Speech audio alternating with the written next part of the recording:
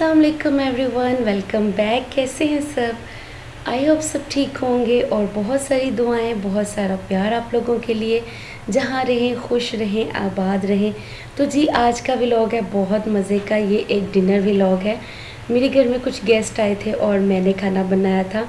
Recipes भी आपको दूँगी और आपके साथ शेयर करूँगी। कि क्या मैंने बनाया था और आप लोग मेरे साथ रहें। मैंने छोटे छोटे क्लिप्स लिए हैं। यहाँ पर ये जी मैं आ, आलू बॉईल कर रही हूँ। ये मैंने फिंगर आ, कट कर ली थी और थोड़े से जो है ना इसको आपने मोटा कट करना है। मतलब जैसे फिंगर चिप्स होती है वैसे आपने इसको कट करना है। ज़्यादा बारीक कट नहीं करना। साथ में मैंने ली है जी यहाँ पे गाजर। और गाजर भी मैंने जो है फिंगर में कट कर ली थी और ये शिमला मिर्च ली है, ये भी फिंगर साइज़ कट कर ली थी। अच्छा ये हम ना फ्राइड वेजेस बनाएँगे और पहले इसको हम बॉईल करेंगे, आलू बॉईल कर लिए। जब ये 70 परसेंट आलू गल जाएँगे, इसमें हम गाजर ऐड कर देंगे।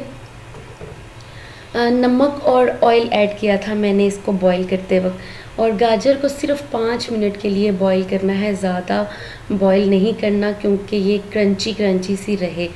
तो साथ में मैं बना रही हूँ कीमे वाला पुलाव और ये जी मैंने इसका जो है सारा मसाला रेडी कर लिया है। तो मैं वेट कर रही थी कि गेस्ट आएँगे तो साथ में ही इसमें चावल ऐड कर दूँगी, क्योंकि चावल बिल्कुल गरम गरम सर्व किए जाएँ तो बहुत अच्छे लगते हैं। पहले से बना के रखूँगी तो इतने अच्छे नहीं लगेंगे। साथ में जी साथ साथ धुल रहे थे बर्तन और आपको पता है जब कुकिंग करें तो साथ साथ बर्तन धोते हैं।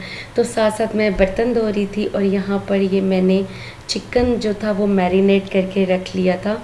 इसकी भी मैं रेसिपी आपके साथ आगे जाके शेयर करूँगी। ये मैं स्टीम चिकन बनाऊँगी। और साथ में ये रायता मैंने बना लिया था। इसमें मैंने सिंपल चटनी डाली थी, हरी चटनी जो होती है धनिए पुदीने की और साथ में क्यूकम्बर और प्याज वगैरह ऐड कर दिया था। साथ में जी ये मैंने बनाया था शीर खोरमा और ये मैंने रात को ही बना के रख लिया था, क्योंकि आपको पता है जो मीठा होता है वो ठंडा ही सर्व होता है और जितना इसको आप ज़्यादा देर फ्रिज में रखते हैं चिल करते हैं, ये उतना मज़े का बनता है। तो ये जी मैंने रात में ही बना के रख लिया था और अभी ऑलमोस्ट मेरी सारी प्रिपरेशन डन है। चिकन भी मैंने सुबह मैरिनेट कर लिया था। इसमें, इसकी मैरिनेशन की जो सारी डिटेल है, वो मैं आपके साथ आगे शेयर करूँगी। बहुत सिंपल इसकी मैरिनेशन मैंने की थी, लेकिन ये बहुत ही मज़े का बना था। और यहाँ पर जी ये बॉईल हो गए हैं। गाजर भी और आलू भी। शिमला मिर्च को हमने बॉईल नहीं करना और गाजर को भी, भी बहुत ज़्यादा बॉईल नहीं करना। सिर्फ़ चार से पाँच मिनट बॉईल इसको करना है और यहाँ पर इसको अब स्टेन कर लेंगे इसको ठंडा कर लेंगे और साथ में इसके साथ ही मैंने जो है वो शिमला मिर्च ऐड कर दी थी। शिमला मिर्च को बॉईल नहीं करते क्योंकि वो बहुत ज़्यादा सोगी हो जाएगी। उसको हम जस्ट फ्राई ही करेंगे।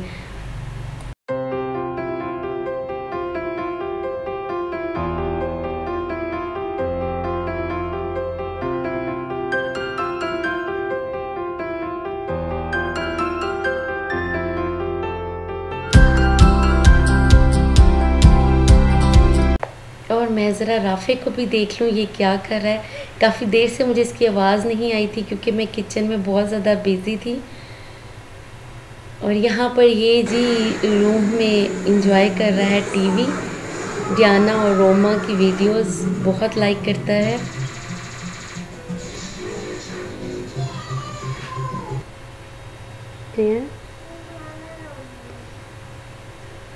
आप क्या देख रहे हैं?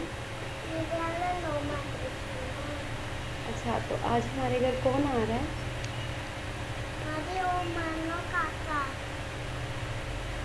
मानो काका। आ रहा है? हाँ वो माजी भी आ रही है। वो माजी भी आ रही है? वो अमजा भी आ रहा है। अच्छा। वो अली चाचू भी आ रहे हैं। अच्छा। और? भी आ रही है। कौन आ रही है। पप्पू भी खाली हैं। और?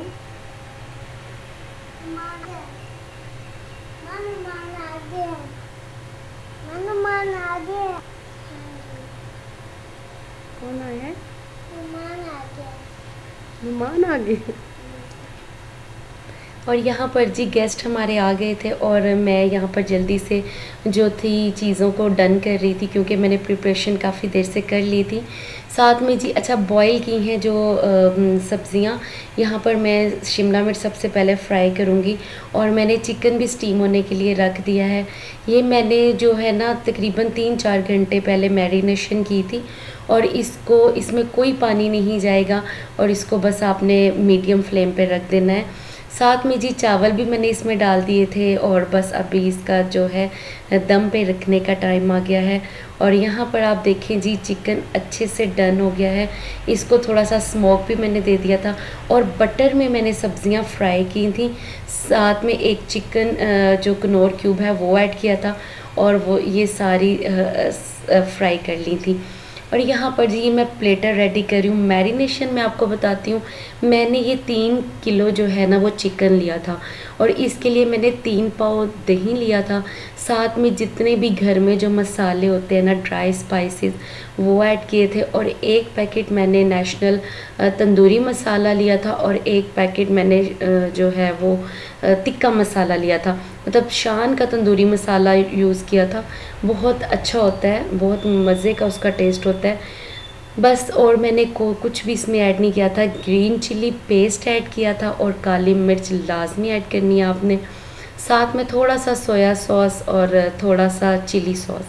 ये इसकी मैरिनेशन थी और इसको आपने दही के पानी में ही पकाना है ऑयल ऐड कर देना है मैरिनेशन के दरमियान में ही और बस उसको आपने फ्लेम पे रख देना है और इसको मीडियम फ्लेम पे पकेगा। जैसे ही दही का पानी खुश्क होगा मीडियम आपने मीडियम से लो फ्लेम कर देनी है और इसको जो है ना एक कोयले का जो है वो स्मोक दे देना है।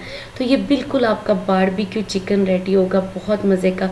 साथ में जो मैंने ये सब्ज़ियाँ फ्राई की थी, ये मैंने इसकी इस तरह गार्निश कर ली थी। साइड्स पे सेंटर में चिकन रख के और साइड पे सारी वेजिटेबल मैंने रख ली थी। इतने प्यारे प्लेटर लग रहे थे दोनों। और यहाँ पर जी ये चावल भी मेरे डन हो गए हैं। मैंने कीमा पुलाव बनाया था। और बहुत सिंपल ये तो सबको ही आता है और बल्कि सब कुछ ही सबको आता है। मैं तो आपके साथ अपनी रेसिपीज़ शेयर करती हूँ, जिस तरह मैं खाना बनाती हूँ। तो काइंडली कमेंट सेक्शन में ज़रूर बताया करें आपको कैसी लगती है वीडियो साथ में मैंने गार्निश के लिए कुछ मिर्चें काटी थी। साथ में लेमन था और जिंजर था। तो ये जी गार्निश ऊपर मैं कर रही हूँ, सब्ज़ मिर्च के साथ। और टेबल पे खाना आ गया था और सबसे ज़्यादा भूख राफ़े को लगी हुई थी। यहाँ पर जी सारे हम लोग डिनर के लिए बल्कि सभी रेडी थे। ये देखें जी, ये इतना खूबसूरत प्लेटर लग रहा था। ये मेरे पास ना गोल्ड डिशेस थी और इसमें ये इतना खूबसूरत लगा है, बहुत प्यारा लग रहा था। टेबल पे पड़ा, बहुत अच्छा लग रहा था। तो ये था जी आज का डिनर और सबने खाना बहुत इन्जॉय किया था। अल्हम्दुलिल्लाह सबको खाना बहुत ज़्यादा पसंद आया था। और ये थी मैंने सिंपल सी रेसिपीज़ भी आपके साथ शेयर की हैं। ये एक बड़ा मज़े का डिनर था।